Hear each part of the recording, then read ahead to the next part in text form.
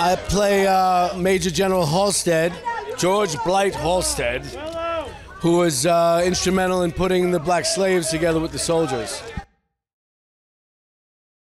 Will was amazing. Will was amazing. Was, uh, he was very immersed in his world,